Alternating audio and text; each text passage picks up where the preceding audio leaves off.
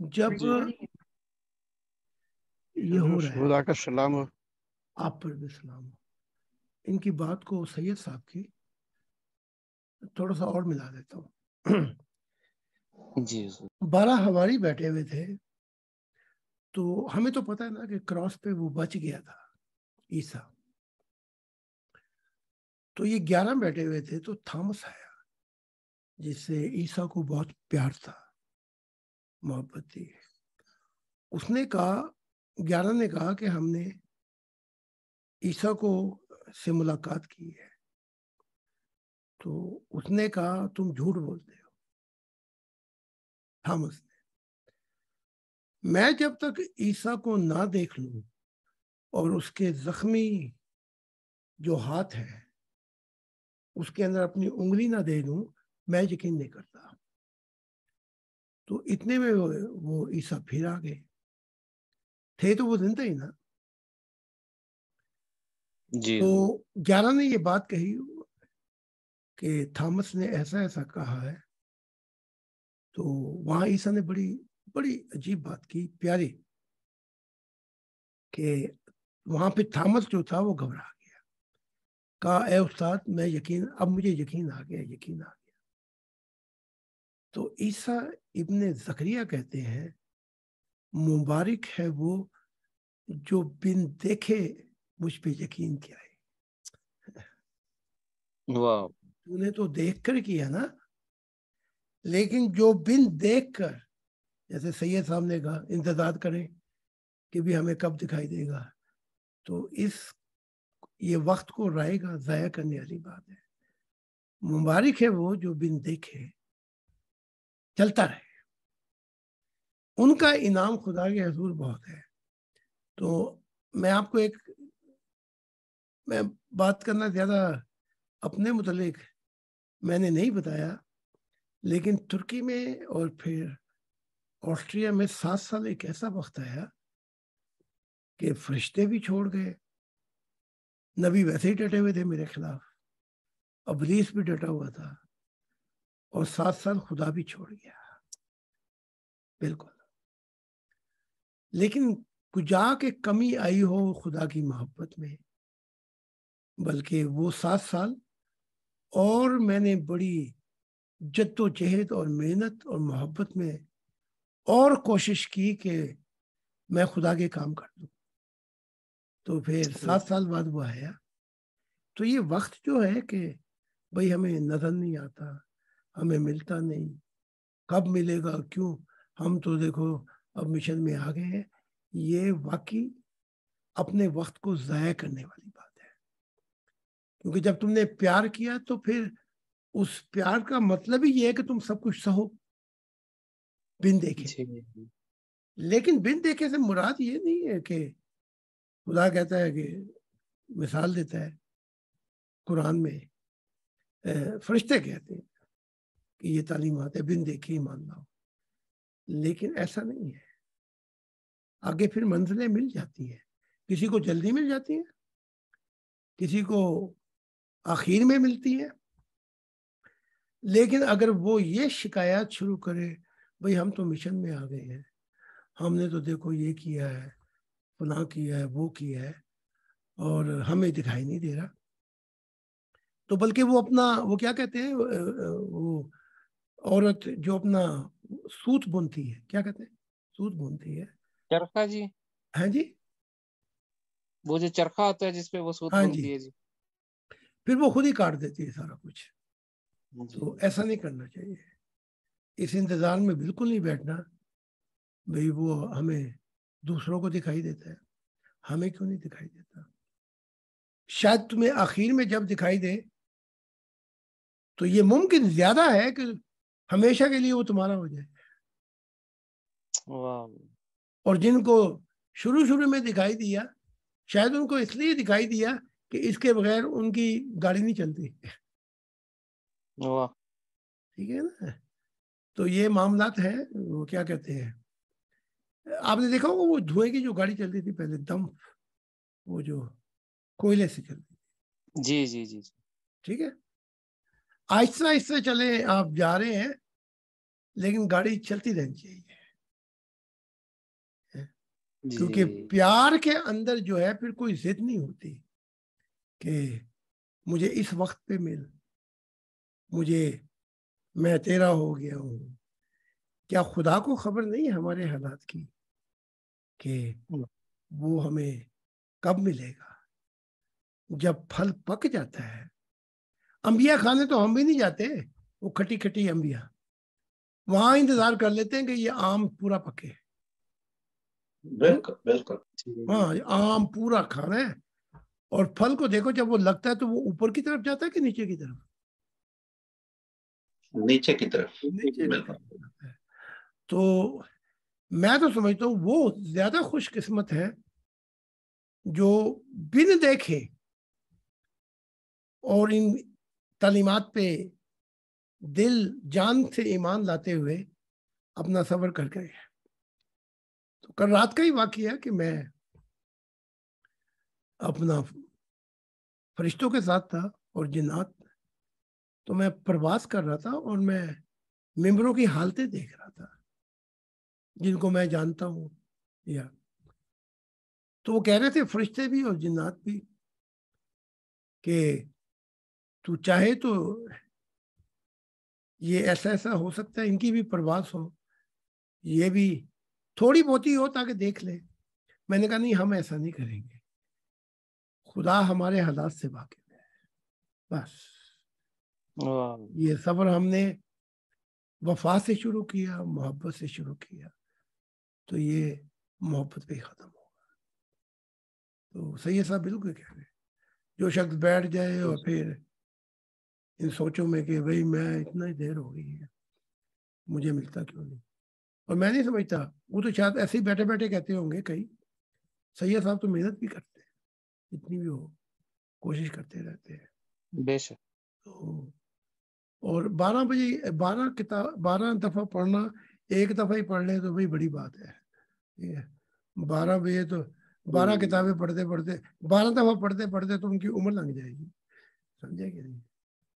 तो वो मैं सेमिनार में था तो एक शख्स बड़ी ऊँची आवाज़ में बोलता है तो उसने मुझसे पूछा, उसको चुप कराया गया? मैंने कहा, नहीं, इसको बोलने दो, क्योंकि जब वो वक्फा था तो फरिश्तों ने मुझसे कहा कि ये शख्स जन्नत ही है। और सब लोग कह रहे थे कि ये बदतमीजी करता है, बड़ी ऊँची आवाज़ में तो ये जवाब देता है। फला देता है। तो मैंने कहा, नहीं, मुझे अभी फरिश्तों ने कहा है वक्फे में, ये शख्स जन्नत ही है। तो उसने एक ऐसी बात में बात की, जो खुदा ने मुझे कही वो पहले कह गया। तो जब वक्फा हुआ तो हम बाहर निकले तो वो आया मेरे पीछे पीछे। तो मुझे कहने लगा, अभी मैं दो तीन दफ़ा पढ़ी है मैंने ये लाल किताब। तेरे मानने वाले कहते हैं कि तूने कहा है कि बारह दफ़ा पढ़नी है। लेकिन मेरा दिल तो चाहता है कि मैं और दूसरी किताब शुरू करूँ। जब उसने ये बात की तो मेरी आँखों से जो नून निकला तो मैंने देखा कि वो किताब दिल की राह से पढ़ रहा है। वो भूलने वाला नहीं है। तो मैंने उसको इजाज़त दे दी कि नहीं तू अगली किताब पढ़। उसी आफ्टरनून को खुदा ने कहा कि इन सबको कहे बारह तुमने बारह दफ़ा नहीं पढ़नी कभी भी। तुम्हारा जीवन लंग जाएगा तुमने बारह दफ़ा नहीं पढ़नी। तो अब सारी किताबें एक दो तीन से शुरू करके पढ़ो शायद कहीं ना कहीं अंधेरे में कोई तीर लग जाए तीर लग जाए। खुदा के प्यार का। तो फिर मैंने उसकी मिसाल दी कि देखो इसके दिल में क्योंकि दिल की राह से मिल रहा है खुदा से। तो इसने खुदा ने इसका ख्याल देखा और अपना ख्याल बदल दिया।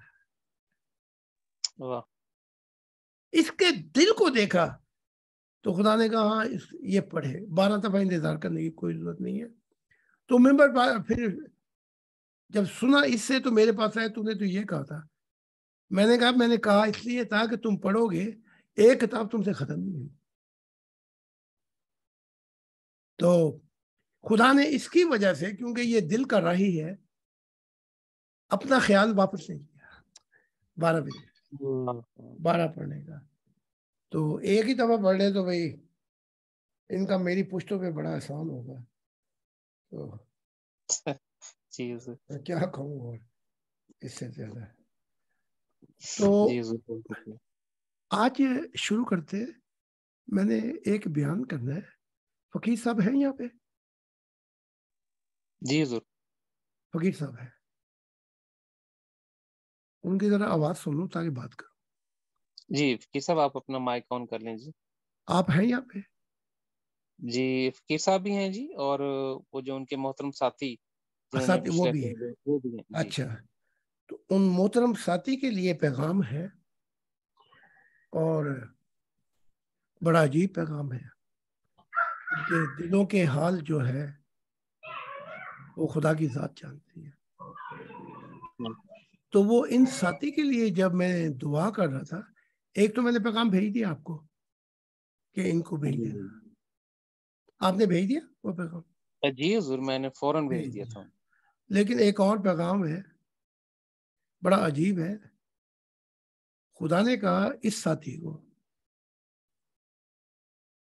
अगर ये वफा और सारी ज़िंदगी मोहब्बत में मेरी मनादी करता रहा, खुशखबरी कि ये खुदा का ज़माना है, आओ और खुदा की मददगार हो। और इसने तालीमत बताई। तो अजीब सी बात कर दी खुदा ने। उस जंगल में जो मैं आपसे कह रहा हूँ खुदा ने कहा कि मौत के वक्त में इतना शऊर दूँगा इसको। इतना शऊर दूँगा। इधर मौत के लम्हात होंगे और मैं तुझे भेजूँगा। तू अपनी नूर की सवारी पे जाना। और खुदा ने कहा कि इसको कहना, चाहे तो तू इस नूर की सवारी पे बैठ जा, मैं तुझे खुदा के पास ले जाता हूँ। और अगर चाहे तो खुदा ने इसको कहा है मैं खुद आ जाता हूँ। वाह ये इन साथी के लिए वो साथी रे जी वो साथी तेरे बिना भी क्या जीना। मैं इसको इतना शौर दूँगा तुझे भेजूँगा और मौत की तो ये उधर तो वो मौत हार जाएगी चाहे तो तेरे नूर की बग्गी पे बैठ के मेरे पास आ जाए और अगर चाहे तो ये साथी जो है मैं खुद आ जाऊँगा इसको हाँ। लेने के लिए बड़ी खुशखबरी है तो मैं इसको मुबारकबाद देता हूँ कि ये जो भी साथी है अब बाकी काम इसका रह गया इस शख्स का कि एक जीवन वफा और खुशखबरी देते हुए कि ये खुदा का जमाना है।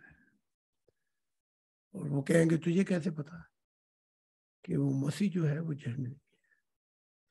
तो ये देते हुए अगर कर गया तो खुदा कहता है मैं इसको ऐसा शौर दूँगा आखरत में ये कुछ भी नहीं भूलेगा। आखरत में तो बड़े बड़े भूल जाते हैं जी। लेकिन इस साथी को हम मुबारकबाद देते हैं। तो इस राह पे चलते हुए कि ओ साथी रे तेरे बिना भी क्या जीना? अगर इसने उसको साथी बनाया है तो इसके लिए बहुत बड़ी खुशखबरी है कि दिलों के हाल खुदा जानता है। तो मुबारकबाद हो जी ये शख्स। जी बहुत बहुत मुबारक हो जी आपको मोहम्मद अली भाई हम सब की तरफ़ से ये जो बैठे हुए हैं। और वैसे जो लेकर आता है मैंने हमेशा कहा है वो रूहानी बाप होता है। ठीक है? जी। अच्छा जी शुरू करते हैं। तो आप बताएँ। जी। तो बहुत शुक्रिया जी। हम आज का पहला सवाल जनाब एन खान साहब से शुरू करते हैं। आपका मैसेज आया था। अगर आप अभी बात कर सकते हैं तो अपना जो आपका सवाल है वो हुजूर की गोश गुजार कर दें। मैं फिर ये बता दूँ कि ये खुदा ने ये बात रखी है कि अगर ये वफा और जीवन में पूरी वफा से मनादी करते चला गया तो फिर ये होगा इसके लिए आखिरत में। वाह। हजूर इनका सवाल होने से पहले आज मैं दरख्वास्त करूँगा कि मैं आपके हजूर एक सवाल रखना चाहूँगा जो। मेरे साथ पेश आया। हजूर मैं कुछ रोज पहले खुदा के हजूर दुआ कर रहा था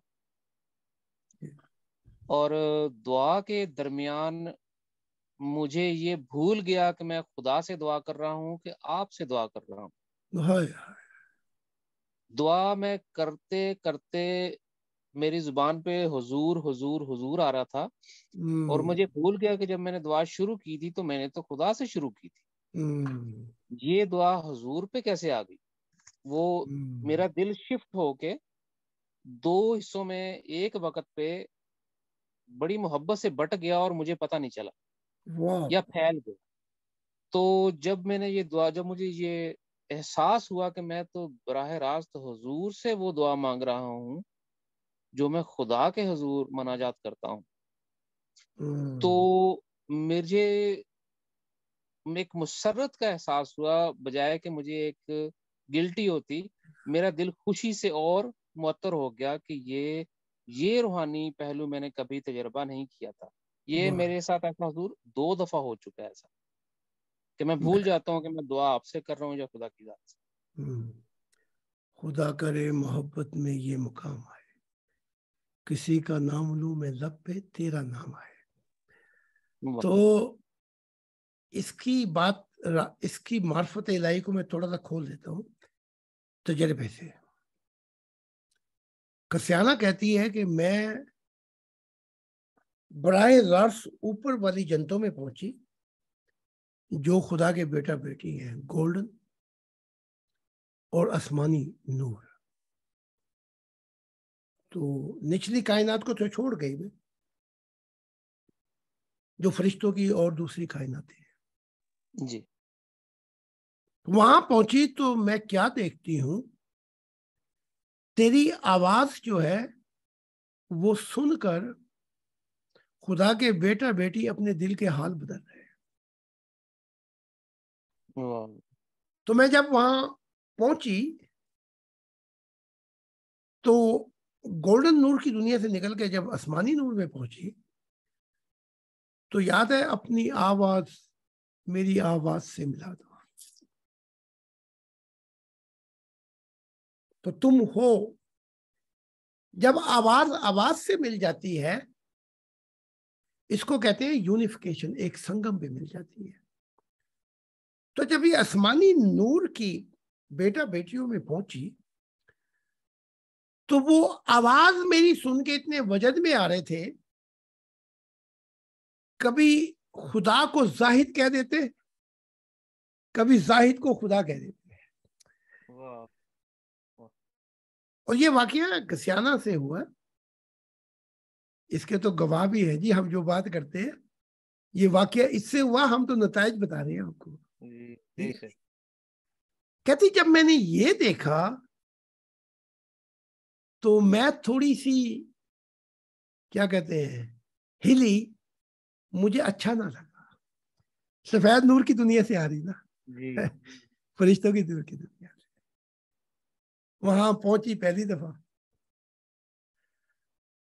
तो फिर इससे रहा नहीं गया तो इसने कहा कि ज़मीन पे तो जाहिद इतना फ़र्क करता है कि खुदा की आइडेंटिटी में उसको ना मिलाया जाए। बिल्कुल ही उसने कर लिया। और यहाँ मैं ये अजीब देख रही हूँ कि कभी तुम खुदा का नाम लेते हो, कभी खुदा को जाहिद कह देते हो, कभी जाहिद को खुदा कह देते हो। है, ये क्या? ये तो बड़ी गलत फहमी है। तुम्हें हो गई है। तो वहाँ जो नूर की हस्ती खड़ी थी परसों उसने कहा कस्याना यहाँ जाहिद और खुदा के दिल को खुदा कहना और खुदा को खुदा का दिल कहना यहाँ अब वो बात नहीं रही क्योंकि ये दो मोहब्बत एक संगम में मिल गई है। वाह वाह। तो यहाँ कोई कंफ्यूजन नहीं होगी। तोहीद की ना आइडेंटिटी की। यहाँ ये कह रहे हैं कभी खुदा और कभी खुदा को ज़ाहिर कह देते हैं। वो इसलिए जब मोहब्बत एक बूंद जो है रूह जब वो समुंदर में गिर गई तो वो भी तो समुंदर का हिस्सा हो गई। बेशक। आप अगर बारिश की बूंदे समुंदर में गिरी तो मुझे बता सकते हैं कि बारिश की बूंदे कहाँ है और समुंदर कहाँ है? नहीं। नहीं बता सकते। तो कैसी मैं हिल गई। कि यहाँ जो है, यहाँ तो मंजिल है। तो इनको कहने दे, अगर ये जाहिद को खुदा कहते हैं, कभी खुदा को जाहिद कहते हैं, यहाँ तो मंजिल आ गई है, यहाँ कोई कंफ्यूजन नहीं रहेगी। एक और सुन ले वाक्य। वो किताबों में, अब ये पढ़ेंगे तो कुछ मिलेगा इनको। तो वो नदीमा की तरह चाटे जाए, जैसे मुसलमान चाटते हैं। चेकम चेक कर दी। तो मैं एक रात को दुआ कर रहा था जंगल में, और मैंने कहा, ए खुदाए वाहिद, मुझे डर है। कहीं मुझे भी बाद में, जैसे और नबियों के साथ हो गया इश्क मोहम्मदी और ईसा ईसा कहीं ये मेरे साथ भी ना हो जाए और तू बीच में से निकल जाए। तो खुदा ने मुझसे सवाल किया ये तू बात कहाँ से कर रहा है? ये भी तो बता दे। मैंने कहा ये बात मैं दिल से कर रहा हूँ। तो कहा खुदा ने तुझे तेरे दिल पे यकीन नहीं है? मैंने कहा खुदा मुझे तो मेरे दिल पे यकीन नहीं है। तू तस्दीक कर तो फिर कुछ यकीन आए। खुदा ने कहा तूने इतना बताया मेरे मुतलिक कि अब मेरी तोहीद में कहीं शिरक नहीं होगा। तू तेरी जगह होगी मेरी मेरी जगह होगी। वाह वाह। ये कहकर खुदा ने कहा जरा देख आसमानों पर। बादलों में देखा तो खुदा ने मुझे अपने पास बैठाया हुआ था और ज़मीन पे जो लोग थे वो कह रहे थे इनमें से खुदा कौन है? तो मुझे बड़ी हैरानगी हुई मैं भी बैठा हुआ था तख्त पे। तो ज़मीन वाले कह रहे थे इनमें से खुदा कौन है? तो मैंने देखा कि मेरा रूप छीन कर खुदा ने अपना रूप में मुझे बिठाया हुआ था साथ ही। जो लोग अहले दिन हैं ये वो लोग हैं जो बैसो मुबासा करते हैं। और इनकी वैसे तकरार। इनके दिमाग में चीज़ बैठती है तो दिल पे नहीं उतरती। तो ये चीज़ें देखी तो मैंने खुदा को कहा मैं वहीं सजदे में जा पड़ा। मुझे मेरा रूप मुझे वापस दे ताकि समझ तो लगे। तो फिर खुदा ने कहा मैं देख ये रहा हूँ कि इनमें से कौन से वो अहले दिल है तब भी पहचान कर जाए इवन हत्या कि मैंने तुझे अपना रूप दिया हुआ है। तो वहाँ पे बहुत थे जिन्होंने फ़र्क करके बता दिया ये खुदा है ये खुदा का दिल है। ठीक है? प्यारे अभी तो मोहब्बत की लहरें शुरू हुई हैं। इस ज़मीन पर ऐसी ऐसी लहरें उठेंगी मोहब्बत की कि अभी एक लहर से आपको वजद में निढाल कर देंगी और आपका कख ना रहेगा। तो दूसरी लहर फिर टकराएगी आपको। आए वो आपका जो थोड़ा बहुत रह गया था उसको भी खत्म करेगी। अभी वहाँ से नहीं संभलेंगे तो तीसरी लहर आपको टकराएगी। ये लहरें टकराती टकराती आपको कहाँ से कहाँ पहुँचा देंगी। वाह बेशक। तो मैं चाहता तो मैं कहता चलो ठीक है फरिश्तो तो मेरे सारे मेम्बरों को परवाज करो। मैं खुद कर रहा हूँ परवाज तो एक वाक्य याद आ रहा है, शेख अब्दुल कादर जिलानी का। गौ से याद। एक माई ने बड़ा कुछ सुना हुआ था शेख अब्दुल कादर जिलानी के बारे में। तो थी अमीर। उसने कहा, मेरा बेटा भी तरबियत पाए तो छोड़ गई। कुछ अरसे के बाद आई तो देखा कि बेटे का मोटापन भी दूर खत्म हो गया था। बिल्कुल ऐसा हो गया था जैसे दो लेशा की छुरी और क्या देख रही है कि जू की रोटी खा रहा है। और कुछ भी नहीं पानी पियो वो पानी में भिगो भिगो शिकायत लेके शेख अब्दुल कादिर जलानी के पास आई कि मैं कहूँगी कि मेरे बेटे का क्या हाल कर दिया। वहाँ पहुँची तो देखा कि गौसे आज़म मुर्गा खा रहे थे। जी। और रोगनी मुर्गा। और अच्छी गजा खा रहे थे। लेकिन मुर्गा तनावल कर रहे थे और वो जो हड्डियाँ थी वो साथ फेंके जा रहे थे। उसको और गुस्सा चढ़ गया। उसने कहा मैं अच्छा फंसा के गई अपने बेटे को।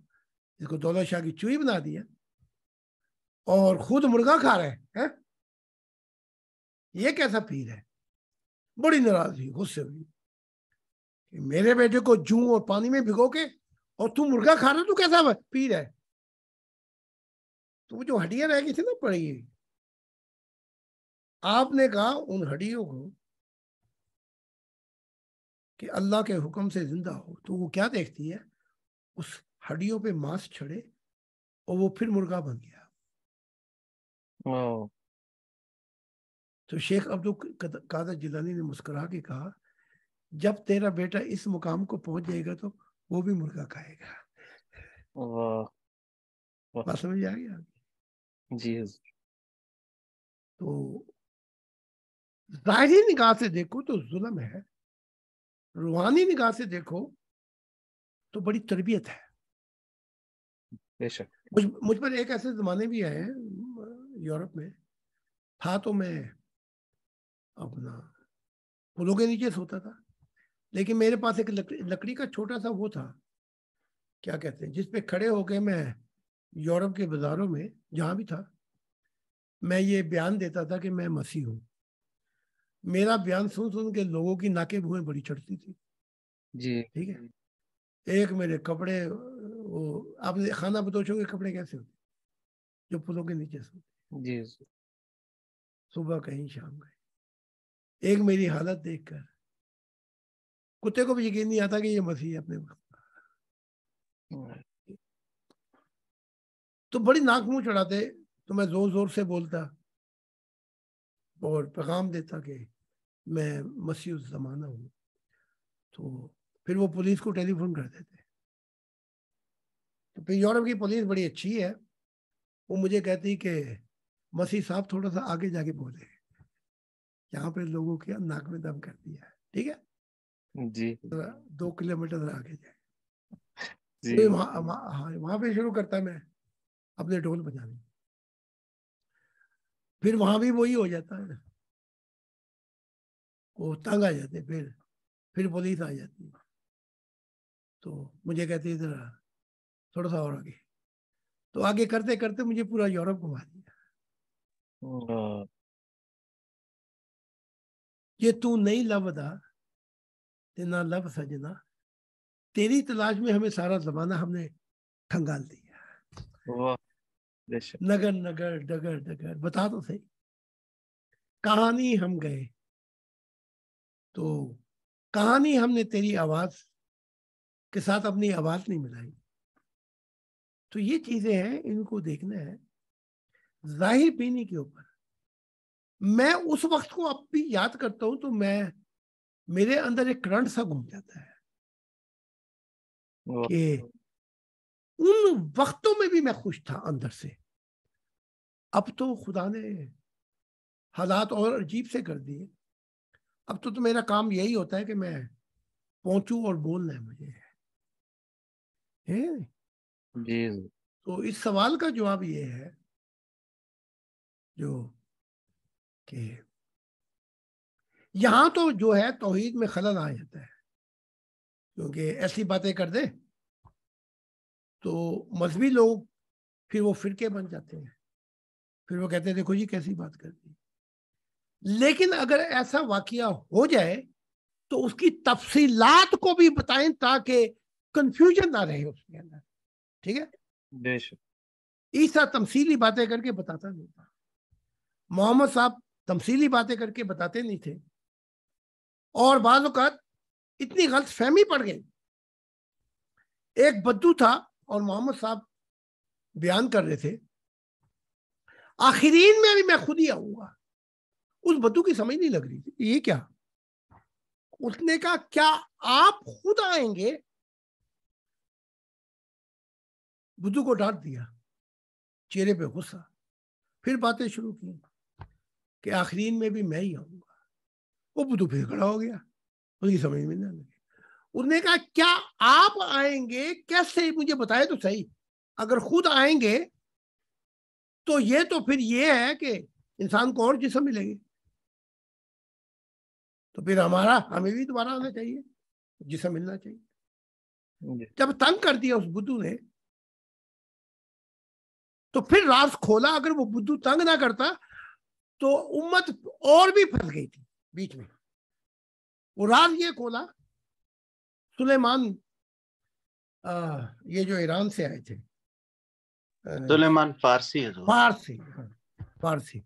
उसके कंधे पे हाथ रख के कहा इनमें से एक शख्स नस्ल में से होगा उसका आना मेरा आना होगा। लो जी अब बात खोली। अगर ना खोलती तो हमें तो उसका बुद्धू का एहसान मंद होना चाहिए कि वो बात खुलवा गया। ऐसे ना जाने कितनी बातें जो नहीं खुली है? और बीच में ही रह गई। तो ये तो खुदा की जात अब जो है क्योंकि मोहब्बत की पेचे आपको तो नहीं पता मैंने गुड्डी बड़ी उड़ाता था। मुझसे पूछे आप। मेरा पतंग में बड़ी उड़ाता था। पतंग के जब मेचे पेचे सही पड़ जाते थे तो वो बुल्ले देकर चली जाती थी। रात होगी पेचा भी फंसा हुआ है। तो जब पेचा खुदा से लग जाता है तो पतंगे हवाओं से भी आगे निकल जाती है।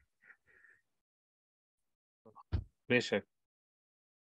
ये हवाएँ कहाँ से आती हैं?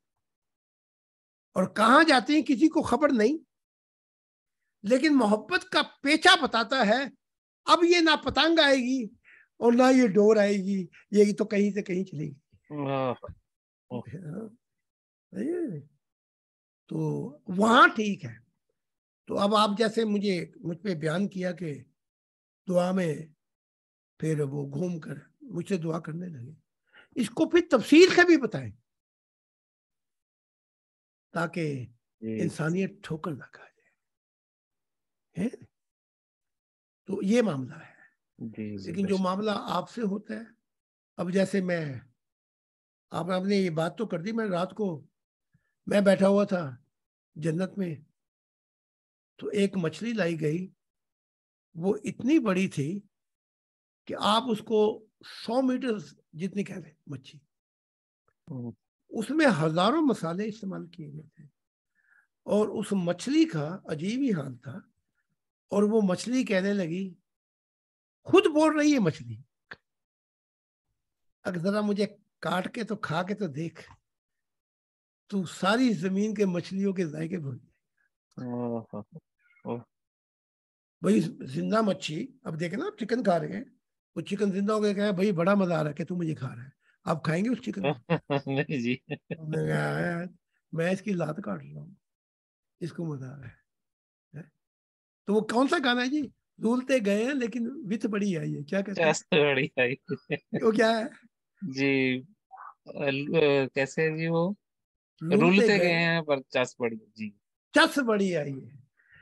ये मोहब्बत की चस तो लो पहले।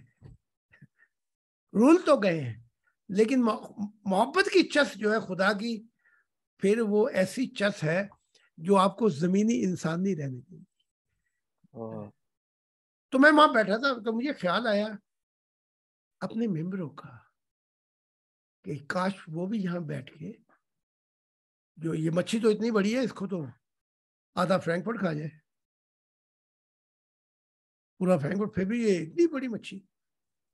तो वहाँ मेरे मुँह से निकल गया मैंने कहा था अतर को ले आओ फिर ताकि वो भी मच्छी बैठ के खाए। तो अब ये नहीं पता कि अतर की रूह कहाँ भटक रही थी लेकिन मैं उधर पहुँचा हुआ था अतर। तो फिर मेरे साथ बैठा के मैंने मच्छी खिलाई। तो अतर कह रहा था कि भाई हजूर ऐसी मच्छी तो मैंने कभी जीवन में नहीं खाई। ये क्या मच्छी? नहीं। तो मोहब्बत के झूलों में ऐसा होता है। वो देखे कभी झूले आपने वो वो जो वो जो सर्कल होती है झूले की। जी जी जी। वो क्या कहते हैं उसको? वो पींग जी। पींग जी। वो कभी आप नीचे कभी कोई और ऊपर। जी जी। घूमता है ना? हाँ जी। सर्कल घूमता है जी। हाँ घूमता है। जी हजूर वो व्हील की तरह व्हील की तरह सर्कल हाँ जी। तो खुदा की मोहब्बत में एक ऐसा मुकाम भी आता है कभी तू नीचे और कभी खुदा ऊपर कभी खुदा नीचे और कभी तू ऊपर। वाह वाह। हाँ। तो फिर एक ऐसी हालत आ जाती है मुकामात से गुजर कर कि जैसे तूने टूट के प्यार किया था खुदा की जात से फिर एक ऐसा मुकाम से निकल कर एक ऐसा हाल आता है खुदा तेरे पीछे पीछे फिरता है कि मैं तेरे लिए क्या करूँ? जनतों पे जनते खोलता चला जाता है। तो यहाँ पहुंचकर खुदा खुदा नहीं रहता खुदा तेरा खातम बन जाता है। तेरी तमन्नाओं को पूरा करने के लिए जनते बिखेरता चला जाता है। तो ये बिखेरता किन के लिए है? जो अपने आप को बिखेर गए। खुदा की राह में। बेशक उनके लिए बिखेर इस सवाल का ये जवाब है और कोई सवाल कर दे। जी सो बहुत शुक्रिया। हमारे एन खान साहब अच्छा जी वो इंटरनेट का प्रॉब्लम है इनका हजूर उनका सवाल मैं आपके गोशगुजार कर देता हूँ। वो फरमाते हैं कि हजूर से मेरी तरफ़ से सवाल कीजिएगा कि किसी शख्स को ये कैसे पता चलता है कि उसके अंदर अंधेरे आ रहे हैं या खुदा का नूर आ रहा है क्या किसी शख्स हम्म। को रूहानी इसे खुलने से पहले ये पता चल सकता है कि उसकी रूह में ज़्यादा अंधेरे हैं या रोशनी है हम्म। ये यूँ है कि कोई किसी को शौक हो कि मैं डॉक्टर बनूं लेकिन डॉक्टर की लाइन के अंदर एक सबक भी ना ले और कहे कि मुझे डॉक्टर बनाया पहली जो सबक है वो ये है कि एक सफ़र है जहाँ पे पहुंचकर रूहानी हिस्से खुलती ठीक है? एक सफ़र है। अब हमारी किताबों में वो सफ़र जो है वो बड़ा अजीब है। अगर वो बताएँगे तो कहेंगे, ये कुफर के फतवे लगा दिए लग जाएँगे हमारे तो कहाँ पे रूहानी हिस्से खुलती है? क्योंकि आप सारे आए उधर से ही है इस्लाम से। तो आपकी गाइडेंस वहाँ हो जाए ताकि मैट्रिक पास करके कॉलेज और फिर यूनिवर्सिटी में आ जाए। ठीक? आसानी हो जाए आपके लिए। जी ये मुला तो नहीं बताएँगे। कुरान पहली शुरू करो तो कहता है ईमान लेके आओ आखिरत के ऊपर। बिन देखे। फरिश्तों पर खुदा पर। दिखाया तो खोया कुछ नहीं किया बस ईमान लेके आओ बिन देखे। अब वेस्टर्न माइंड कहेगा भी मैं क्या कि, किस किस किस्म का ईमान लाऊं? है? मुझे मैं मुझे नज़र ही कोई नहीं आता मैं तो अंधा हूँ। मैं क्या ईमान लेके आऊ? तो फिर थोड़ा सा आगे चले जाए। शुरू में कहते हैं ला रही वफी हुदल मुत्तकीन हिसे कहाँ खुलती है? जब मुत्तकी हो जाए, हिसे पहले नहीं खुलती। राह दिखाती है लारी बफी हुदल मुक्तकीन के सफ़र जो है, ये शर्त है पहले। मेरी बात सुन ले? ये बिन देखे। शर्त लगा दी, थोड़ा सा सफ़र करो। अगर सफ़र नहीं करोगे तो कुछ भी रूह नज़र नहीं आएगी, कुछ भी नहीं नज़र आएगा तुम्हें। अब आप थोड़ा सा आगे आ जाए कुरान के अंदर। अब कुरान अपना मजमून खुद ही बदल रहा है। पहले कहा था, बिन देखे यकीन लाओ। अब कहता है कि जो लोग थोड़ा सा सफ़र कर बैठे हैं दिलो जान से, वलील बुशन हयात दुनिया वाला हम उनको थोड़ा सा पर्दा उठाकर दिखाते हैं और वो फल थोड़े थोड़े से चकाते हैं जो जनतों में तुम खाओगे फल आखिरत तुम्हें याद आएगा वो रातों में उठना वो बेकरारी और वो बेताबी का आलम वो जो तुमने खुदा के लिए अपना जीवन दिया था उसका फल जो है दुनिया में चुका देते हैं। हाँ। थोड़ा सा पर्दा हटा के। लो जी ये दूसरा सफ़र है। फिर तीसरा सफ़र चलता है पैरावे में मजमून बदलते जा रहे हैं एक ही सजदे में इंसान बदलता जा रहे हैं। वो क्या है जी कि इकबाल का कि कि तेरे सदियाँ गुजर गई तेरे सजदे से क्या हुआ? कोई कर ऐसा सजदा तेरी दुनिया बदल जाए। इन्हीं हज़ारों सजदों में एक सजदा जीवन बदल देता है। आगे चले तो मजमून और बदल गया।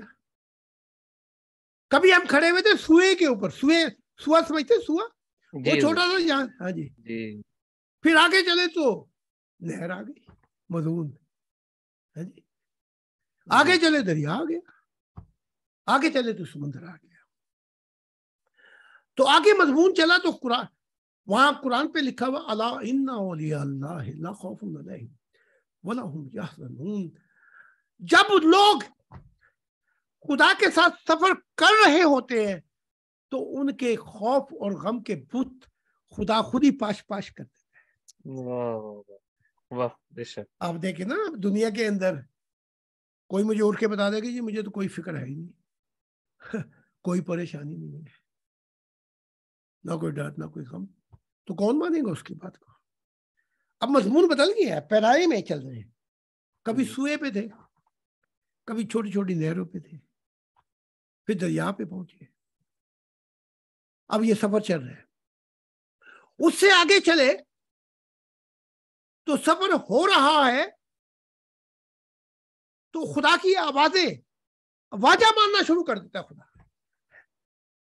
आजा माही आजा तेन प्यार वाजा मारदा आए हाय। ते दिती है दुहाई। वहाँ पे पहुँच गए खुदा की वजह लगती है। और जिधर देखो जुनून के अंदर खुदा की जात नज़र आती है।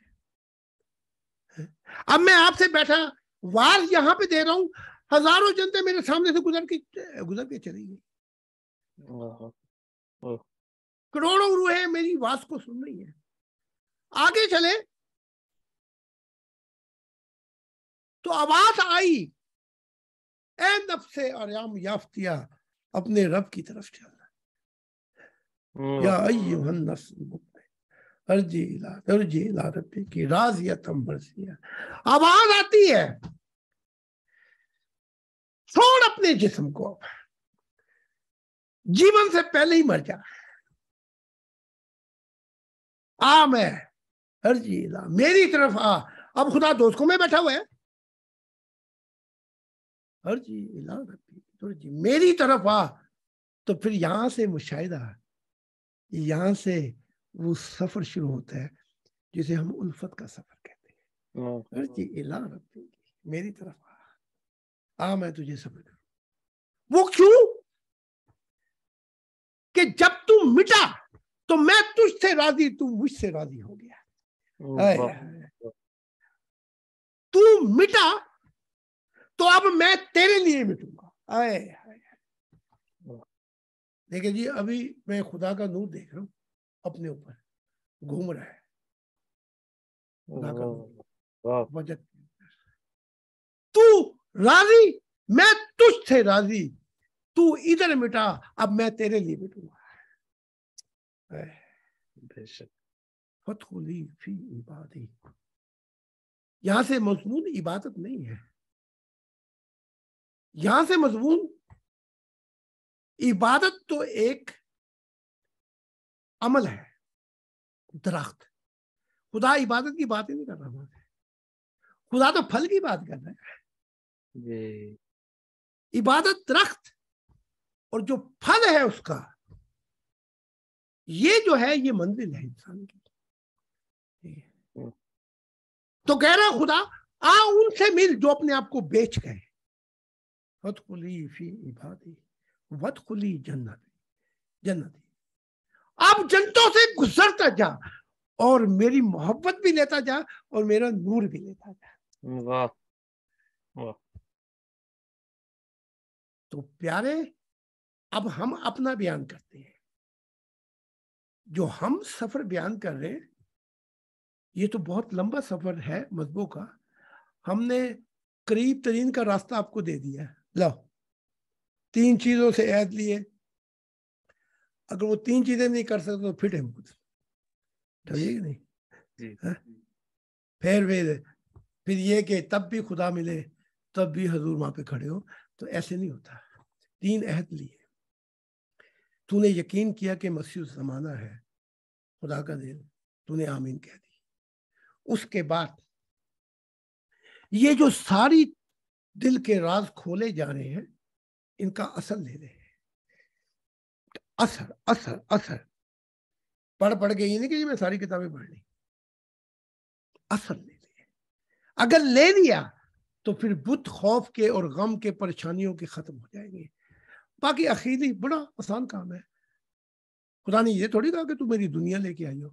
खुदा ने कहा कि बताता जा कि ये नया जमाना है। खुदा का खुश बस तीन काम इतने हल्के काम और सीधा ही खुदा की तरफ़ पहुँच गए उन्होंने इतनी इतनी लंबे दौड़े लगवा दी तब भी खुदा का दीदार नहीं हुआ। यहाँ लंबे तरीन रास्ते long ways and shortest way you can get it और मुख्तसर रास्ते से पहुँच सकते हैं।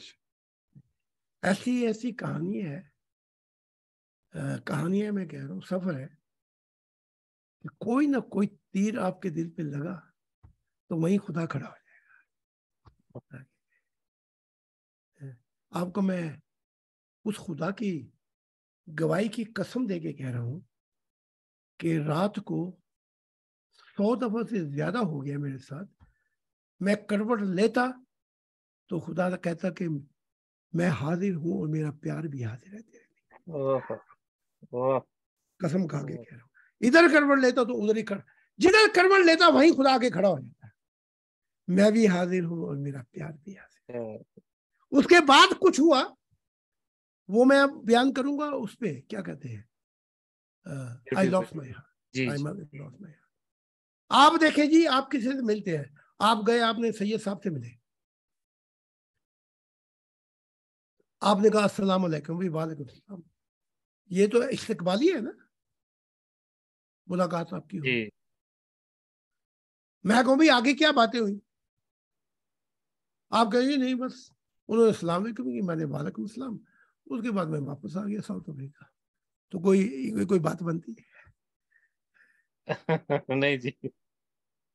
सैयद साहब चले गए अभी है। जी सही साहब इधर ही हैं जी। अच्छा। जी हजूर मैं इधर ही हूँ। सुन रहा हूँ अमेरिका गए सैयद साहब से। सिर्फ़ वो वो माइक बंद था इसलिए जरा। ठीक कोई बात आप वहाँ पहुँचे और हवाई अड्डे पे सैयद साहब आए लेने के लिए। और आपसे सलाम की आपने वालेकुम सलाम। फिर सैयद साहब ने कहा वापस मुड़ जाए जितो आए ऐसा नहीं होने वाला कभी। मैं कभी आगे क्या बात होगा कोई एयरपोर्ट से ही धक्का देगी मुझे वापस। फिर ऐसा कोई कोई मानेगा। अब देखो, पंद्रह सौ साल से ये मुसलमान कह रहे हैं, इनको बात की समझ नहीं आई। मैं समझा रहा हूँ आपको। लिल्लाहि व सलावातु। व तय्यबातु अस्सलामु अलैका नबी। ए नबी, क्या हाल चाल है? उसके बाद मोहम्मद साहब को कहा, छुट्टी कर जा, फिर जा मक्का में, मदीने में बैठ जा। और ये तो इस्तकबालिया था अब मैं मुसलमानों से कहता हूँ भाई आगे क्या बातें हुई?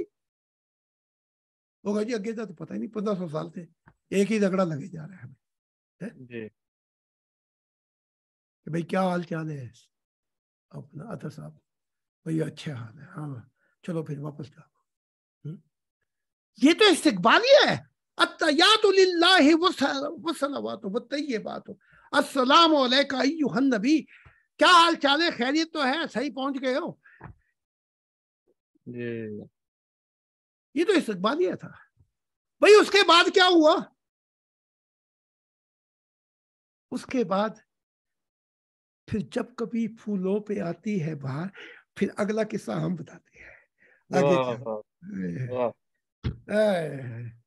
आगे मुसलमानों कर कर सजदे कस गए मते ना ती, ना रब तीर ना तो मक्के। अगर तुम्हें आगे का नहीं पता तो हमसे पूछ लो आगे। बेशक। आगे क्या बातें हुई? तो ये लोग जाहिरी चीज़ों को पकड़ कर इनके लिए खुदा ने अजाब ये रखा है कि ये सारी ज़िंदगी तकरार और सारी ज़िंदगी बहस मुबासे करते रहे। और हमें ये बताया गया कि बंजर ज़मीन पे हल हल नहीं चलाना जब देख लिया कोशिश की ये नहीं बदलेगा।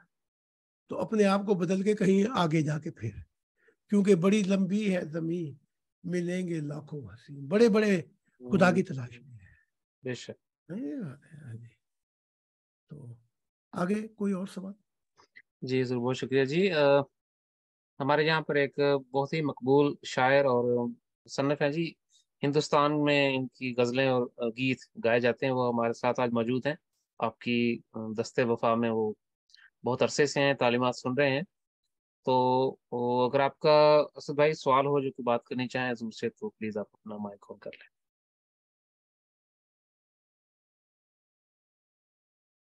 जी अगर किसी वजह से माइक नहीं ऑन कर पाए तो मैं आपकी तरफ़ से हजूर को बता देता हूँ। जी खुदा की सलामती अथर भाई और हुजूर के खिदमत में अपना सलाम पेश करता हूँ। अगर मेरी आवाज़ आपको आ रही तो प्लीज़ ज़रा मुझे बताइएगा। जी जी आपकी हुजूर खुदा की सलामती जी आपकी आवाज़ बड़ी क्लियर बहुत क्लियर आ रही है। जी शुक्रिया शुक्रिया। हुजूर मैं सबसे पहले तो बहुत माजरत खा हूँ कि एक अरसा दराज से मैं अपनी जो है वो हाजिरी मुमकिन नहीं बना सका मैं और... मैं आपसे यही पूछने वाला था कि आप कहाँ गायब थे? हुजूर असल में मेरे यहाँ तो एक छोटी शहजादी की विलादत भी हुई है।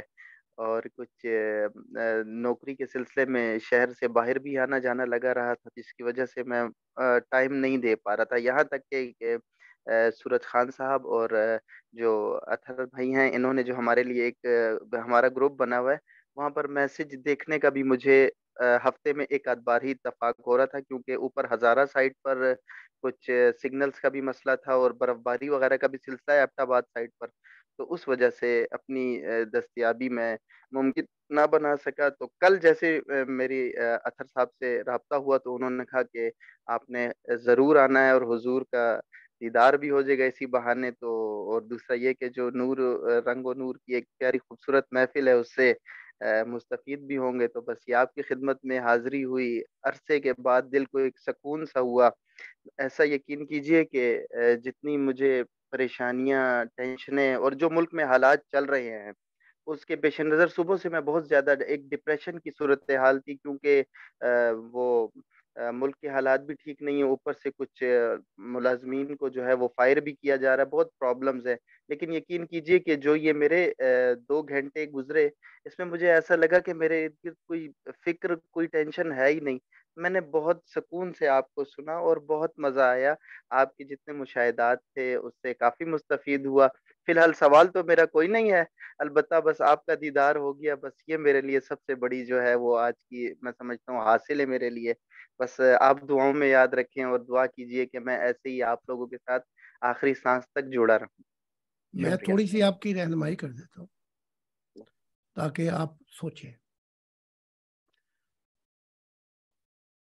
खुदा की जात कहती है कि इंसान नो सॉरी खुदा की जात नहीं कहती।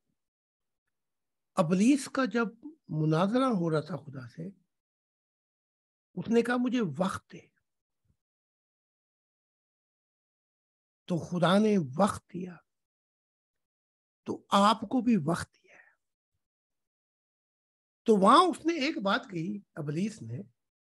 उसने खुदा को चैलेंज नहीं किया। उसने कहा, तू इनमें से अक्सरों को ना शुक्र गुजार पाएगा। जब भी खुशियाँ आएँगी, ये मुझे भूल जाएँगे ये तुझे भूल जाएँगी। अब देखो आपने जितनी बातें की हैं मैं मुझे एहसास है उसका। लेकिन गौतम बुद्ध के बच्चा हुआ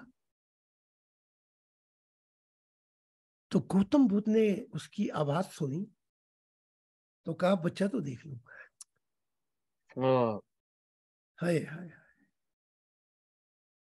महल छोड़ रहा है खुदा के लिए। हाय हाय। आपकी तो जा भी जा रही है ना कहीं। थोड़ी बहुत ही मुसीबतें होंगी मैं कहता हूँ वला तजी तो अक्सर हूँ शाकिरीन। शुक्र गुजार नहीं होंगे इबलीस ने कहा लेकिन गौतम बुद्ध शुक्र गुजार था। पहला तो ये सजदा है। कहा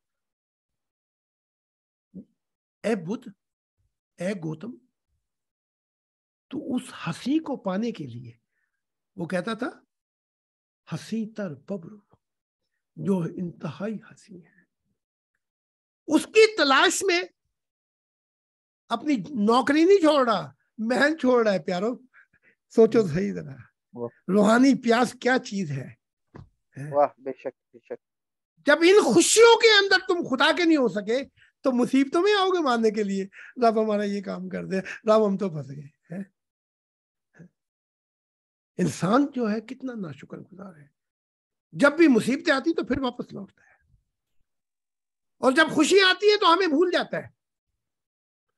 गौतम बुद्ध मात गौतम की नौकरी नहीं जा रही। ये बात कौन बता रहा है मुझे? गौतम बुद्ध जनतों में बैठकर गले लगाकर मुझे ये बातें बताता है। उसकी नौकरी नहीं जा रही उसके महल जा रहे हैं प्यारे। सोचो तो सही। उसकी बुढ़ी नहीं जा रही, उसकी तो हज़ार बीवियाँ थी, मैं लाइन थी। एक से एक हसी। और बच्चा हुआ पहला। तो आवाज़ सुनी तो कहा, एक दफ़ा बच्चे की तो झलक देख। फिर दिल में ख्याल आया कि तू उस हसी के लिए महलात छोड़ रहा है, हज़ारों बीवियाँ छोड़ रहा है। उसके बाप महाराजा ने एक शहर पर आबाद किया था जब सारे वहाँ पे ऐसे जैसे जन्नत बन गई ठीक है? जी। ए गौतम बुद्ध अगर बच्चे की शक्ल देखी तो तुझे ये खुदा से मिलने से कहीं तेरा सफ़र न रुक जाए। हाय हाँ, हाँ। भाई आप कहें के शायर है? शायर तो इतनी लंबी तकरीरों को दो अल्फाज में बयान कर देता है मजमून। है? कश्ती भी नहीं बदली दरिया भी नहीं बदला। हम डूबने वालों का जज्बा भी नहीं बदला। है शौके सफ़र ऐसा। एक उम्र हुई मंजिल भी नहीं पाई रास्ता भी नहीं बदला। रास्ता भी नहीं बदला। वाह कहीं तेरा सफ़र ना रुक जाए। और आपने तो मुझे तीन अहद लिए। और आमीन आमीन आमीन की है। है ये सारे वक्त जो आपके लिए हैं, ये आपसे छिन जाएँगे। वहाँ तो ये सारे वक्त जैसे आपका मकान पीछे रह गया, जैसे आपकी औलाद पीछे रह गई जहाँ से आपकी प्यारी पीछे रह गई, जैसे आपकी नौकरियाँ पीछे रह गई, जैसे आपकी आपकी मशहूरी मलकियत सब पीछे रह जाएँगी तो ये वक्त भी पीछे रह जाएगा वहाँ तो तू कला खड़ा हुआ है। जी कहा है गौतम बुद्ध? अगर तूने बच्चे की शक्ल देखी वाह। हमारे जैसा तो कहता है एक फेरा ला ले की फ़र्क पड़ता है। जी। उसकी शक्ल देखे बगैर हज़ार मल्लाएँ में सोनी लड़की थी वो। वो मल्लाएँ शहजादी उसको खुदा हाफिज किए बगैर, महलों को खुदा हाफिज किए बगैर, वो छोड़ के चला गया। हाय हाय हाय। हम कहते हैं जी, हम मुसलमान हैं। और तुम गौतम बुद्ध तो बन के दिखाओ पहले। मुसलमान तो तुम्हारी बात में देखेंगे, हैं? तुम्हारी मुसलमानियत। सब छोड़ छाड़ के फकीरी का लिबास पहन लिया। उस हँसी को पाने के लिए और ये गौतम बुद्ध भूलना ना ये ईसा से पहले आया है। जी। ईसा 2000 साल पहले ये 600 साल पहले। तो इस ये 600 साल गुजर गए थे जब इस ये आया था। ईसा दो हज़ार छह सौ साल पहले की बात है। जी। तो जब राह में चला रात सुबह ही रोटी तो नहीं मिली। किसी ने वो वो क्या कहते हैं जी वो रोटी जो जिस पे वो लग जाती है। शुमल क्या कहते हैं? हाँ जी वो फंगी लग जाती है रोटी के ऊपर जी। क्या लग जाती है? फंगी से कहते हैं जी बासी रोटी। वो रोटी खाने के काबिल नहीं काबिल नहीं रहती। उल्ली लग गई फफूंदी लग जाती हाँ फफूंदी। जी उल्ली लग गई जी बिल्कुल सही कहा वहाँ से। वहाँ से फूंडी लगी रोटी मिली कहीं ज़मीन पे पड़ी हुई थी। इसके आगे लगते थे अपना शहनशाह खाने एक्चुअली हैं जी? पचास खाने लगते थे इसके आगे। अब खाने लगा तो खाई नहीं गई तो वहाँ गौतम बुद्ध कहते हैं, वो जो महलात की शहनशाह थी तो ये रोटी तुझसे खाई नहीं जा रही। तू तो निकले खुदा से मिलने के लिए इस सफ़र में। ये रोटी तुझे मज़ा तो नहीं देती, लेकिन तेरी जान बचा सकती है। तो पानी में भिगो के वो भूनी रोटी खाई। तो प्यारे, तुम तो बिल्कुल ठीक ठाक कट्टे कट्टे मुस्टंडे खाते खाते पीते हो। तो तीन ऐद लेकर तो तो आप तो शायर हैं। शायर का मतलब ही ये है, असल जो शायर है, उसका मतलब ही ये है कि रूहानी मजमून को ऐसा बयान कर दे कि समुद्र को कूदे में बंद कर। दे तो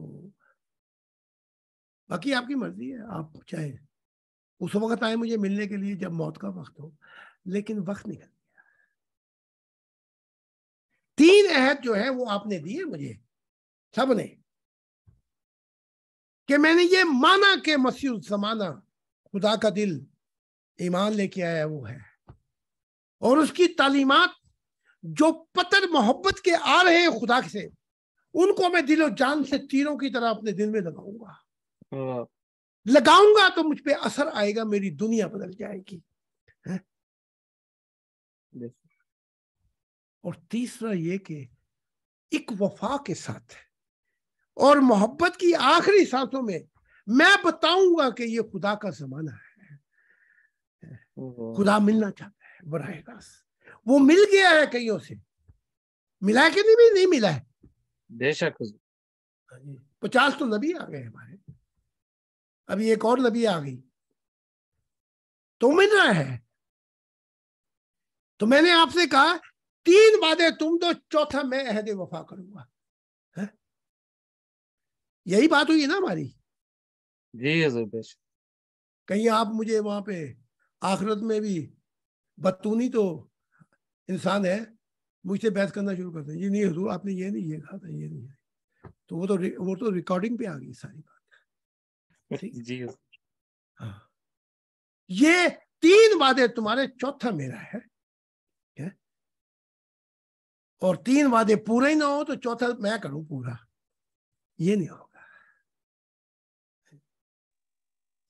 मुगलिया संसद की कितने मुगल बादशाह आए रोब ताप एक बादशाह आया। हुजूर सॉरी फॉर इंटरप्शन क्या? सॉरी फॉर इंटरप्शन वॉल्यूम बहुत कम हो गई है। सुनने में नहीं आ रहा। पता नहीं क्या मसला? हुजूर की आवाज़ ठीक आ रही। किसी और मेंबर को प्रॉब्लम है जी हुजूर की साउंड का? आप सबको आवाज़ ठीक आ रही है?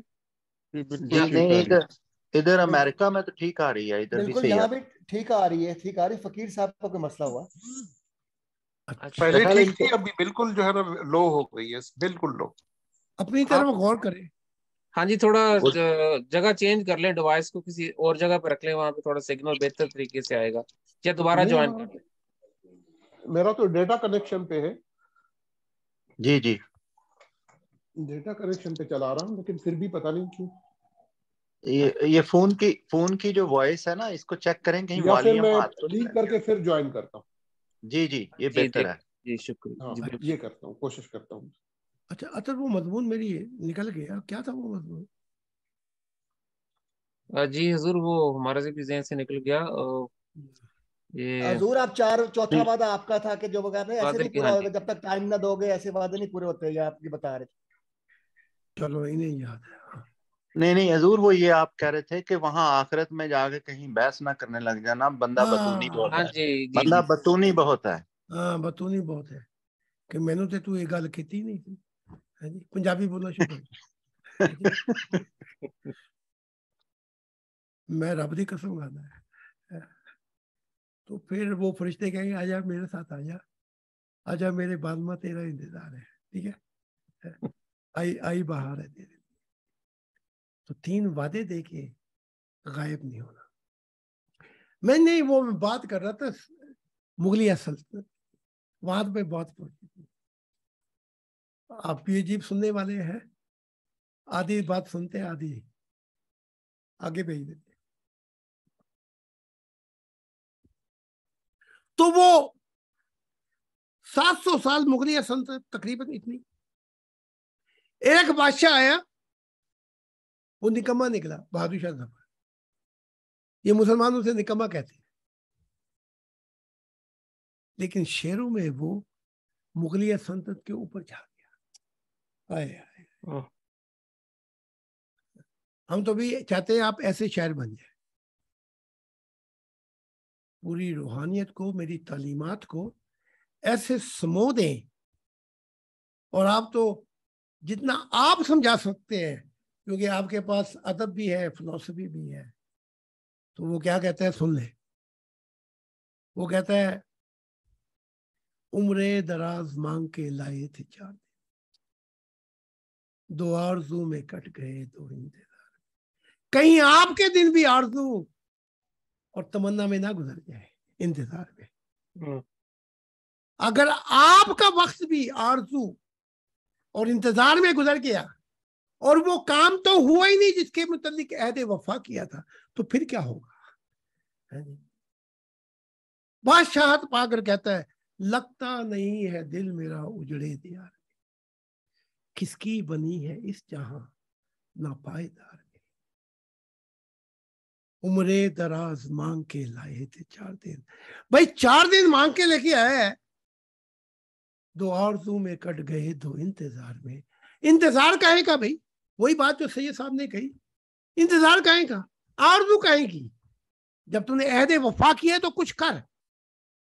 इस अहद वफा के लिए। कहीं ऐसा ना हो कि इन हसरतों से कह दो कहीं दूर जा बसे। आय हाय। इतनी जगह कहाँ है दिले दाग दाग में? है जी। ये कहीं वक्त ना आ जाए। और आप तो खैर चंगे बैठे हुए अपने वतन के अंदर।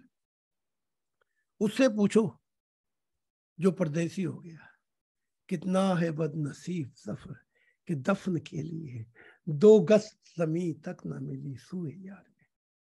ठीक है? उससे पूछो हमसे पूछो जो पैंतालीस साल इक्कीस साल तो हम धक्के खाते रहे पूरे यूरोप के अंदर सब तमन्नाओं को सुलाकर हम भूल गए हर बात मगर खुदा का प्यार नहीं भूले।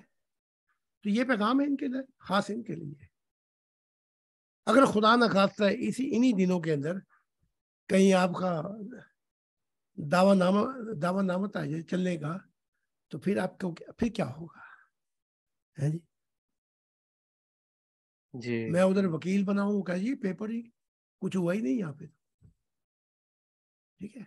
तो ये सबक अहद वफा जो किए हैं खुदा से वो हर खुशी से आला है। बच्ची हुई बच्ची आई हमारे ज़रिए लेकिन ताल्लुक तो उसका खुदा से है। ना जाने वो किन जन्मों में रूह की दुनिया में कहा थी। है जी? Yes. तो हमारी ये रस्म है जब भी बच्चे पैदा हुए जितने भी मैं नहीं था मैं सफ़र में था खुदा के लिए। दुनियाई लोग कहते हैं कि जी अपना लो जी सफ़र के अंदर भी। बाद में पता लगा कि क्या हुआ। तो ये बच्चे ये भी तुम्हें किराए पे दिए गए हैं। बात बात मैं आपको समझा रहा हूँ। ताकि तुम वालदेन की मोहब्बत को जानो। सब कुछ किराए पे मिला हुआ है। तुम्हारा जिसम किराए पे। तुम्हारा दिमाग किराए पे दिया है। शऊर किराए पे जमीर किराए पे मोहब्बत किराए पे रूह किराए पे ये सब कुछ किराए पे मिला है कि मैं दे तो रहा हूँ लेकिन मुझ जैसे होकर आना बात समझ लगी? मुझ जैसे होकर आना दिमाग किराए पे दिया वो कहीं और लगा दिया। जिसम दिया वो दुनिया की दौड़ में लगा दिया। तो फिर ये सारा वक्त तो ज़ाया हो गया। तो ये पैगाम है मेरा। ये नसीहत मैं कर रहा हूँ। हर वक्त जो है वो ले लिया जाएगा। ले लिया क्या जाएगा? हमने खुद ही धक्के दे दिए उस वक्त को। जब हम खुद ही छोड़ के आ गए कदर ही नहीं की हमने उस वक्त की। तभी तो वो कहता है मेरी कदर इंसान ने नहीं जानी कि मैं क्या हूँ। है जंगल में मैं जा रहा था तो ख्याल आया कि कभी ऐसा वक्त आएगा दुनिया में नहीं तो आखिरत में जनतों में या आगे?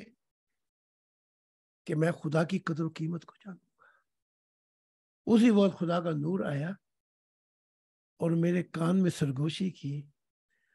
जब मेरा कदर कीमत जान जाएगा वही तो मेरी दुनिया है, है, है। फिर मुझे समझ लगी जहाँ खुदा दिखाई देगा वहीं तो हमारी मंजिल है। ठीक है कि नहीं? तो इनको उम्मीद है कि ये जरा सुनेंगे और सोचेंगे। हाँ जी कोई और सवाल कर जी बेशक जी। बहुत शुक्रिया हजूर। हमारे आहद साहब अगर आप कोई हजूर से सवाल करना चाहें तो प्लीज़ अपना माइक ऑन कीजिए। अगर आप अवेलेबल हैं अगर बात कर सकते हैं तो। ये कोई सवाल नहीं सवाल कोई नहीं। ठीक जी शुक्रिया। ये वही साथी है?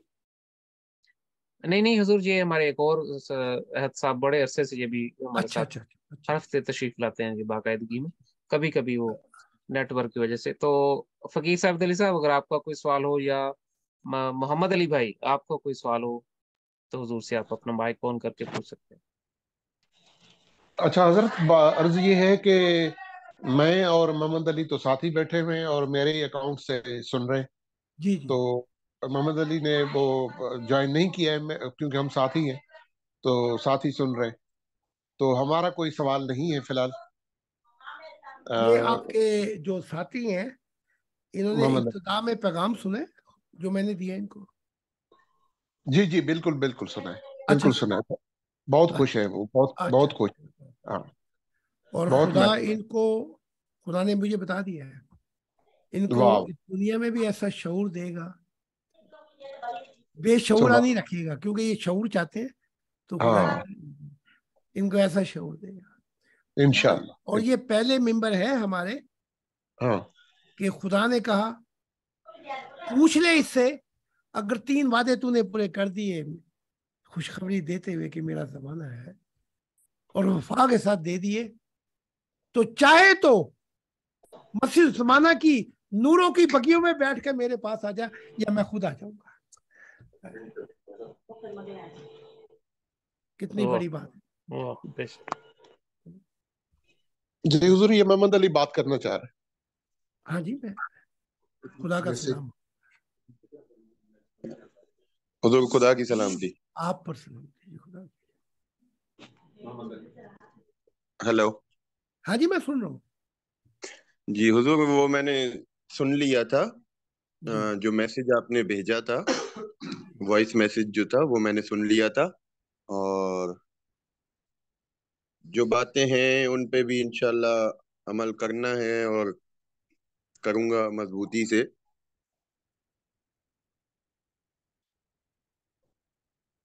बहुत। लेकिन आप तो इतने इतने प्यारे हैं खुदा के कि बड़े मेंबर थे जो कहते रहे वक्त करता जो वफा। और खुदा ने आपको इतनी वफा का अहद दे दिया चाहे तो इसके साथ बैठ जा। मौत के वक्त इतना शौर दूँगा अगर कहे तो फिर मेरा नूर आ जाएगा तुझे लेने के अब ये नहीं पता कि अंदर आपके क्या है। हमने तो वही बात करनी जो खुदा ने हमें की।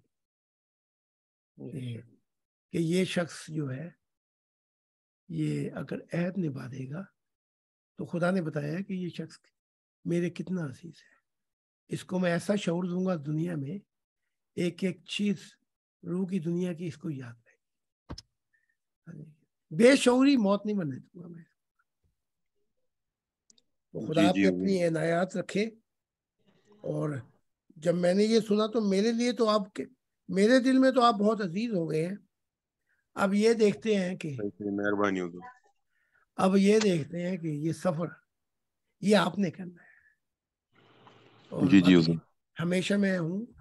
आप जब चाहेंगे मैं आपकी रूहानी रहनमाई करूँगा। जी जी हुजूर बड़ी मेहरबानी।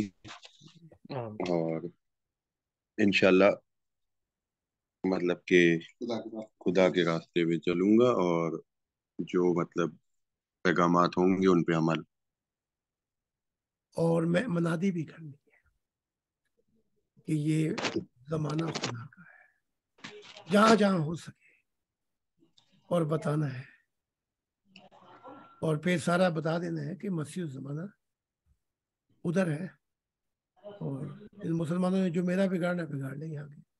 पाँच हमले करती है पाँच हमले हुए। और पाँचों हमलों में इन पे ही मुसीबत पड़ी। तो बाकी मैं हूँ यहाँ खुलम खुला आप अपना काम कर दे। कि अब वो समाना है कि ज़मीन खुदा के नूर से रोशन हो जाएगी। बता दो और इंसान खुदा की कदर कीमत को जानेगा आप जहाँ जहाँ हो सके ये कर देना। मनादी जी। और तालीमात पे को जरा बड़े दिलो जान से सुनना। अब तो किताबों का भी तर्जमा हुए हैं। अता साहब ने कमाल कर दिया। जी हुजूर और खुदा करे कि वो सैयद साहब किसी को ढूंढ ले। जो किताबें किताबों की शक्ल में दे सकता है। उनको यहाँ तक कह दें कि भाई वो छापा खाना हमारा है वो लगा दो यहाँ पे। खान पब्लिकेशन खान छापा खाना तो तुम्हें कोई मुसीबत नहीं होगी। अच्छा अता साहब और या सैयद साहब जो भी चाहे सवाल करें। जी हमारे असद भाई ने ऐसे हाथ खड़ा किया। असद भाई आपकी बात करना चाहेंगे प्लीज़? जी अथर भाई मैं हुजूर से ये सवाल करना चाहूँगा उस वक्त मेरे जहन में ये सवाल आया नहीं कि हम तालीमत पर जो है वो अमल पैरा होकर लाजमी बात है कि सिर्फ़ तालीमात को पढ़ना ही नहीं है, बल्कि पूरी इंसानियत तक इसको पहुंचाना भी है। तो जैसे कि और जैसे कि हुजूर का वक्त गुजरा और वो लोग तो ऐसे हैं कि जिनमें बर्दाश्त भी है। हम लोग अगर मनादी करें या ऐसा कोई काम करें कि जिससे हम खुदा का पैगाम, खुदा की दुनिया का पैगाम ऐसे यानी खूनखार किस्म के माशरे में हम करें तो क्या अ, हुजूर इस बात की ब- हमें इजाज़त देंगे कि हम यहाँ पर ये काम मुनादी का करना तो है दावत का काम या हुजूर की तालीमात का? तो क्या ये सूटेबल रहेगा? क्योंकि वहाँ पर तो फिर ये मामला किसी और नज़र से देखे जाते हैं जबकि यहाँ तो एक के बाद दूसरी बार तो नौबत ही नहीं आती और जान के हम्म, दरपे हो जाती। तो क्या हम्म, हुजूर के क्या अहकाम हैं इस हवाले से? हम्म। जी। वो मुझे याद आ गया कोई दिल में है और कोई है नज़र में। मोहब्बत के सदमे मैं कब तक उठाऊं? हाँ, इसी कश्मकश में जिए जा रहा हूँ। किसे याद रखूँ? किसे किसे भूल। तो ये मुसीबत सूफियों पे भी आई। वो बेचारे एक रात बाहर निकला तो उनको मार दिया गया। उन पर बड़ी बड़ी मुसीबतें आई। तो अब आपने बिल्कुल सही अर्ज़ की कि लोकेशन से ये देखना कि किस लोकेशन पे है आप। अगर पाकिस्तान में है तो उसके लिए फिर आपको बड़ी एहतियात करनी पड़ेगी।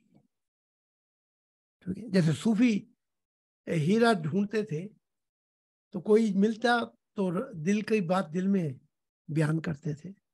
तो यहाँ तो फिर ऐसा करना पड़ेगा। लेकिन अब एक और रास्ता खुल रहा है।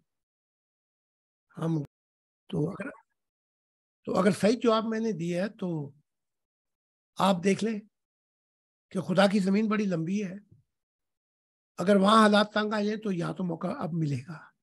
क्योंकि ये बहुत बड़ा, पहले का प्रोग्राम था, जो अब मैंने शुरू कर दिया। क्योंकि और बहुत से कागजात और बहुत सा सोचा समझा था। तो जवाब ये है क्या मैंने सही जवाब दिया या कुछ और जी जी पूछना जी हमारी इनसे बात हुई है कल असद भाई से जी इस जी। बारे में।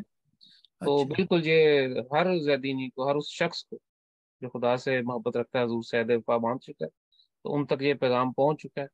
और ये हाँ। जी जी जो जिनके तंग हालात वहाँ मुश्किल है वो उनके लिए परेशान हाँ। आपका जवाब मुकम्मल हो गया असद भाई या आप बारे में कोई और आपकी बात अभी अथर भाई वो तो एक बात बिल्कुल दुरुस्त है हुजूर का कहना और ये कि इंशाल्लाह मुनादी का काम जो है वो तो हम कहीं ना कहीं से ये खुदा की ज़मीन में ये पैगाम पहुंचाएँगे फैलाएँगे।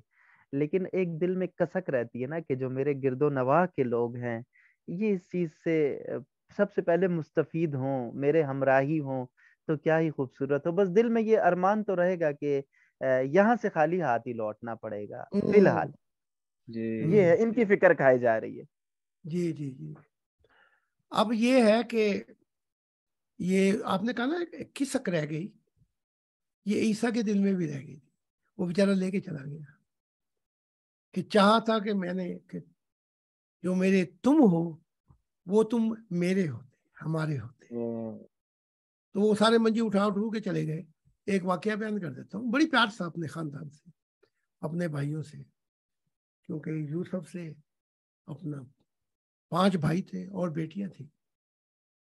तो ये वास रहा था और वो बाहर बैठे हुए थे। तो उन्होंने कहा कि, मारिया ने कहा कि, ईसा को कहना यसु को, जब तू ये वास दे ले, हमने तेरे से बात करनी है। अच्छा वो बात क्या करना चाहते थे? वो दुनियाई बात करना चाहते थे। दुनिया की? दुनियाई बातें ये बहुत करते थे। वहाँ पे ये चाचे मामे सारे इकट्ठे हो जाते हैं ठीक है? तो एक हवारी उसका मानने वाला अंदर आया। उसने कान में ईसा के कहा, तेरे बहन भाई, तेरे माँ बाप एक बात करना चाहते हैं। यही है ना, सारे अज़ीज़ हैं। किसक रह गई सारी? है जी। जब ये बात सुनी तो ईसा यसु जो था, वो अपना वाज भूल गया और गुस्से में पागल हो गया। यानी कि इंतहा ऊँची आवाज़ में। कौन है मेरी माँ? कौन है मेरे भाई? कौन है मेरी बहन? जिनके लिए हम किसक लेके चलते थे हैं? जिनके लिए हमने मटके आंसुओं से भर दिए वो आए और नहा के बड़ी बेतनाई से चल दी है, दुनिया के लिए हम सारे इकट्ठे थे चाचे मामे सारे। तो ये किसक उसने कहा कौन है मेरे भाई? कौन है मेरे बहन? कौन है मेरे रिश्तेदार? मेरे बहन भाई तो ये है जो खुदा की मार्फत को सुन रहे हैं मुझसे। ये है। चाहे ये गैर ही है? तो भाई ये आप कल्ले नहीं है किसक लेने के लिए? इसमें मैं भी शामिल हूँ। हमारे भी सारे छूट गए। वो जब खुदा के नहीं हो सके तो हमारी किसक तो खत्म कर दी उन्होंने। और आप भी अपनी किसक खत्म खत्म करवा देंगे या आगे आगे आएँगे तो खत्म खुद ही हो जाएगी। जब प्राय लोग मिलेंगे तो ईसा कहते हैं वो मेरे अज़ीज़ होंगे। वो मेरे बहन भाई होंगे। हम्म, तो अब वाह। को लेके बैठ बैठ तो हम सकते हैं। समझे कि नहीं? नहीं तो कहीं वो किस का हमें कहीं बिठा कर हमारा ही काम खराब ना कर दे। जी। हाँ जी। जो आपसे मुतमिन है या कुछ किस हक के मतलब कुछ और बताऊँ? जी असद भाई आपका हो जी। हाँ नहीं खूबसूरत जवाब। वो हुजूर की एक बात अच्छा ने ही सारा वो कहते हैं खुलासा कर दिया कि हाँ जो खुदा के ना हुए वो हमारे क्या होंगे? बात ही खत्म हो हाँ। गई फिर तो सब हर हर बात खत्म। तो तो ये तो है कि, बहुत बहुत किस किसक से जी और किसियाँ लेटे लेटे यहाँ है तो वो सारे आज हमें भी याद है सब कुछ। तो जो खुदा का ना हो सका वो तेरा कैसे होगा? हाँ, अच्छा अच्छा साहब। जी हजूर बहुत शुक्रिया जी हमारे किसी और मेंबर का सवाल हो तो प्लीज़ हजूर मेंबरान के लिए एक गुजारिश है। अ, हमारे अक्सर सवाल हजूर आप जवाब उनके दे चुके हैं अक्सर से ज़्यादा। तो हम वही सवाल आगे लेके आते हैं जो कि खुदा के साथ खुदा की मंशा आपकी तालीमात से जुड़े हैं। तो मेम्बरान इस चीज़ पे बुरा महसूस मत करें कि मेरा फलानी जगह रिश्ता क्यों नहीं हुआ तो हुजूर से पूछ लें। या फलाना एक्सीडेंट हो गया तो उसमें फिर कौन जिम्मेदार है, या कातल, या मकतूल इस तरह के, या मोहब्बत में टूटे दिलों के जो काम है, वो हजूर नहीं करते। तो ऐसे जो सवाल आए, उन्हें हम, हजूर तक, उनके बारे में हमें पता है कि सवाल खुदा की मंशा से उनका कोई तलक नहीं। तो वो मैं बता देना चाहता हूँ कैसे सवाल हम नहीं लेते। और दूसरा जी के हजूर की जो तालीमत हैं अब तक खुदा की नायत से कई ज़ुबानों में तर्जमा हो चुका है और उर्दू ज़ुबान में उनकी किताब का जो पांचवा वॉल्यूम है आई लॉस्ट माई हार्ट वो भी मुकम्मल हो चुका है। तो जो लोग पढ़ना चाहें जी वो चाहें तो में आज आपको एक किसक या किसी मैं सुना देता हूँ अपनी अपनी ज़िंदगी की। ताकि आपके ये सवाल खत्म हो जाए कि ये क्यों होता है। तो मेरी जो कसन थी, वो तो बाद में फिर चली गई अपना फ़िल्मों में। बताना ये कि वो हसीन थी। तो वो मुझसे कहने लगी कि अहद पैमान के लिए खुदा के हजूर नहीं, बल्कि दाता दरबार चलते हैं। तो उसने ये बात की तो मुझे उधर ही एक ख्याल सा आया कि अहद पैमान खुदा के हजूर होते हैं, ये दादा दरबार कहाँ पे लेके जा रही तो वहाँ मुझे एक ख्याल आया कि आज कुछ ना कुछ गड़बड़ हो जाएगी। अच्छा हम पहुँचे दादा दरबार, वो उधर दुआ कर रहे थे। मैं दुआ कर रहा था खुदा की मंशा के लिए। तो वहाँ पर जब वो उधर से आई और मैं इधर से आया तो उसने कहा, मैंने दुआ अपनी मांगी, मन्नत. तो वहीं पे एक फ़िल्म साथ आया हुआ था। उसने मुझसे पूछा, सलाम ये आपकी क्या लगती है? मैंने कहा, ये मेरी कदर है। अच्छा हसीन थी। और हकीकत ये है कि चाहे औरत और आदमी अंदर से कितने शैतान हो हुसन पहला वार कर जाता है। क्या कह लीजिए आपका? हुसन पहला वार कर जाता है। जी हजूर। और खुदा की जात कहती है जो भी मेरे प्यारे होंगे उनके हुसन मैं दो दो मिनट के बाद बदलूँगा। तुम्हारे तो यहाँ एक ही दफ़ा बदले। फिर तुम बुढ़े हो गए। लेकिन जनतों में आप बात कर रहे होंगे जन्नती से किसी से। और इधर देखेंगे दोबारा देखेंगे तो उसका हुसन बदल गया। उन्होंने कहा, मैं फ़िल्म साहब हूँ। मुझे पहले ही खबर लगी।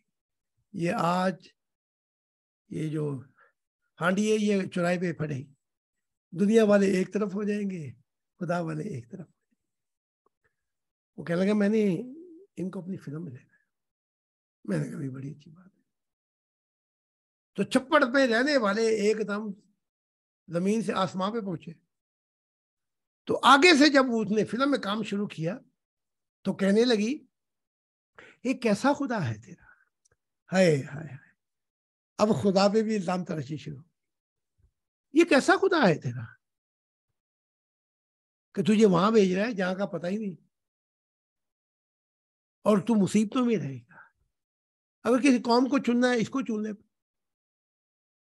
लाहौर को चुन ले। अगर लाहौर अच्छा नहीं लगता, कराची को चुन ले। सियालकोट को चुन ले? अब खुदा पे इल्ज़ाम तराशी जब दुनिया मिलती मैंने उसे कोई जवाब नहीं दिया। और जब चलने लगा तो मैंने उससे कोई मुलाकात भी नहीं।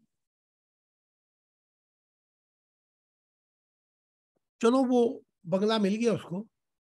मैं इधर धक्के खाता रहा खुदा के लिए। और बाद में पता लगा कि उसकी टांगों के अंदर वो क्या कहते हैं जी? वो वो ऑपरेशन नहीं कहते पिंडी का। जोड़ों का जोड़ों का दर्शन फ़िल्मों से भी गई। उसकी मेरी काफ़ी अरसे बाद इंग्लैंड में मुलाकात हुई। तो वो जो तारीख था जिसकी बहुत बड़ी फर्म है वहाँ पे उसने कहा वो तुझसे मिलना चाहती है। मिला मैंने तो पहचाना नहीं। तो उसने कहा मैं वही हूँ। फिर यादें ताज़ा हुई। मैंने देखा हुसन भी गया। फ़िल्मों के कैरियर भी गए। और उसका अजीब सा ही हाल था। भाई मैं ये काम कैसे कर सकता हूँ जब मैंने अपने लिए नहीं किया? जो जहर मैं खुद नहीं पी सकता मैं आपको क्यों पिलाऊं दुनियाई काम करके? बेशक। तो जो खुदा वाले होते हैं वो खुदा का पता बताने के लिए आते हैं वो आपकी भैंसों को ठीक करने के लिए नहीं आते। ठीक है? बेशक बेशक। इसलिए वो सही वो जो अतर साहब कह रहे कि ऐसे जब हम गुजर गए हमने वो उस गंदे जहर को नहीं पीना चाह और मैं आपके काम दुरुस्त करूँ दुनिया के तो मेरे में और वो पिछले नबी में फ़र्क क्या रहे जी बेशक। इसलिए हम नहीं करते ये काम। जी। जी बहुत शुक्रिया। जी हजूर हमारे आज के सवाल तो खत्म हो गए जी। कल के अच्छा। प्रोग्राम के लिए हमारे दूसरे ऑडियो में सवाल मौजूद हैं। अच्छा। अगर आप मैसर होंगे तो हम कल हाजिर हो जाएँगे जी। नहीं जी हाँ, मेरा काम ही है। जी शुक्रिया हजूर हम ग्यारह बजे जर्मनी के हाजिर हो जाएँगे। जब जाने का वक्त आए तो एक घंटा रह जाए तो एक इंटरव्यू कर लेना अपना। फिर दूर जाते जाते वो क्या कहते हैं एक फेरा और ला ले। जी। जी। एक फेरा लगा लेंगे। जब जर्मनी में होगे तो। बेशक। नज़दीक होगे तो फेरा लग ही जाएगा। तो चलो ठीक है अगर आपके सवाल खत्म हो गए तो हम यहाँ पे खत्म करते हैं। हजूर अगर थोड़ा सा ऑफलाइन होके कुछ बात हो जाए तो अगर मुमकिन है अगर आपके पास टाइम है तो।